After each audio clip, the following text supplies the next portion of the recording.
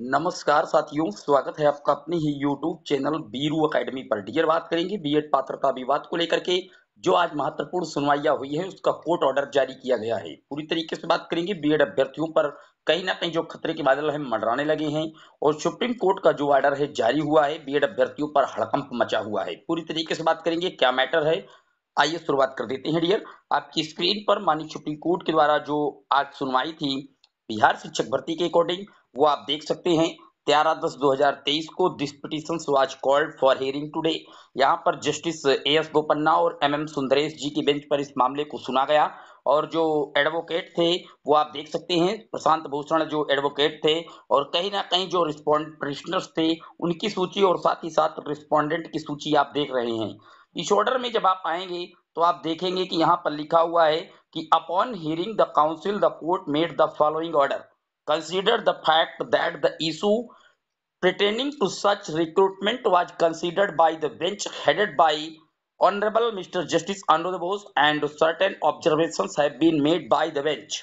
Registry may take note of the same, place the matter before the Honorable the Chief Justice of India and list the matter accordingly.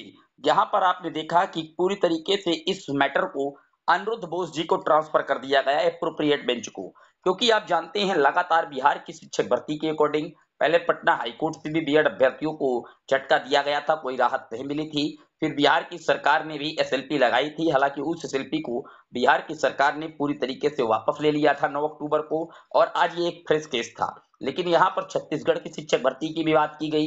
कई तरीके से अपनी जो बातें हैं, BEd की तरफ़ से वो स्पष्ट करने की कोशिश की गई। लेकिन पूरी तरीके से जो जस्टिस थे, उन्होंने मामले को अप्रोप्रिएट बेंच अनुरोध बोस जी की बेंच पर ट्रांसफ़र कर दिया है।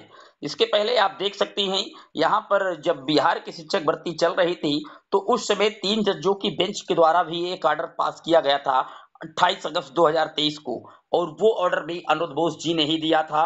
यहाँ पर लिखा हुआ है, चूँकि बिहार की सरकार उस समय पार्टी नहीं थी, इसलिए जो गजट क्वाइस किया गया था 28 जून 2018 वाला उसी के हिसाब से, पूरी तरीके से जजमेंट को कंसीडर करके भर्ती करने का आदेश दिया गया था। वो भी सारी बातें यहाँ पर पूरी तरीके से दर्शाई गई हैं और अब मामले को अनिरुद्ध बोस जी को सौंप दिया गया है। आप जानते हैं डियर इससे पहले अनिरुद्ध बोस जी को ये मैटर दिया गया और पिछले वीडियो में मैंने आपको बता दिया था डियर कि 16 अक्टूबर को इस केस की अगली सुनवाई होगी। माफ़ कीजिएगा डियर यहाँ पर सुप्रीम कोर्ट के द्वारा जो डायरी नंबर डाली गई Dipankar Gaurav versus state of Bihar की। तो यहाँ पर 20 तारीख कंप्यूटर जनरेटेड रेट दिखाने लगा है। और यहाँ पर जब आप स्टेटस देखेंगे तो यहाँ पर लिखा हुआ देख सकते हैं, civil case list before appropriate bench October date तेरह दस दो हज़ार तेईस। यानी कि आज की सुनवाई में इसको अप्रोप्रिएट बेंच को ट्रांसफ़र कर दिया गया है। और अब इस मामले की 20 अक्टूबर को सुनवाई होने जा रही है। और अनुरुद्ध बोस जी, आप जानते हैं कि पूरे मैटर को लगभग दो साल से लगातार लिसन कर रहे थे। कई बार इस पर जो अंतिम निर्णय है, वो इसकी स्थिति बन रही थी, लेकिन लगातार इन्होंने सारे जो पक्ष हैं, उनको स्पष्ट रूप से सुना था। एनसीटी ने भी अपना पक्ष मजबूती के साथ रखने का प्रयास किया था। सभी राज्यों की राज्य सरकार के द्वारा एसएलपी ली थी और उसके बाद जजमेंट को पास किया था 11 अगस्त 2023 को और बीएड को पूरी तरीके से आउट कर दिया था प्राथमिक लेवल की शिक्षक भर्ती से। उसी के अकॉर्डिंग इन्होंने जजमेंट पास किया है। कि अब प्राथमिक स्तर पर बीएड इंक्लूड नहीं होगा, लेकिन जो पहले की भर्तियाँ चल रही हैं, यहाँ पर बिहार सरकार ने इस वजह से इस केस को ले गई है सुप्रीम कोर्ट में कि नोटिफिकेशन पहले का है और हमने नोटिफिकेशन में माननीय सर्वोच्च न्यायालय के फाइनल जजमेंट की बात भी नहीं की थी। इसलिए आप इनको मौका दीजिए।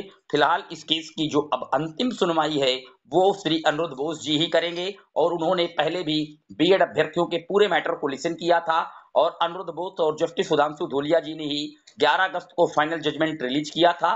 तो अब अनुरुद्ध बोस जी इस मैटर को सुनेंगे। आने वाली 20 अक्टूबर को और बिहार की शिक्षक भर्ती में क्या होगा, वो आज सब भली भांति जानते हैं। आपकी क्या राय है कमेंट बॉक्स में ज़रूर मेंशन कर दीजिएगा।